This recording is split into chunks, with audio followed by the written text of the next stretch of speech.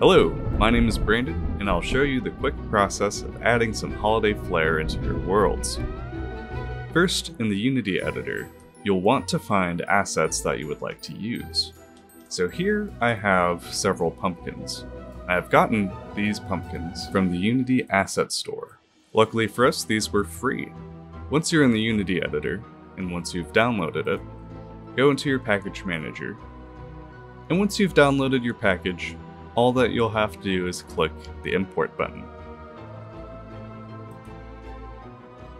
I heavily recommend organizing your project in such a way that you can turn on and off the holiday decorations.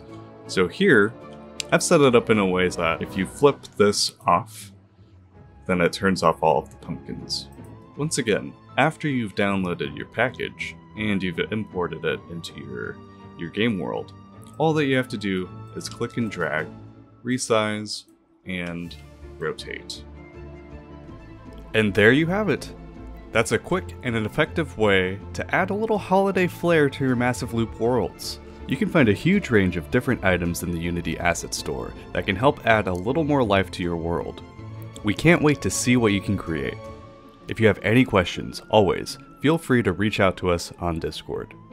For more detailed tutorials on how to create your own Massive Loop world using Unity, keep an eye out for our Massive Loop tutorial series on YouTube, where we will cover everything from creating your own multiplayer worlds, creating games, and how you can create and upload your own avatars. Have fun creating, and happy Halloween!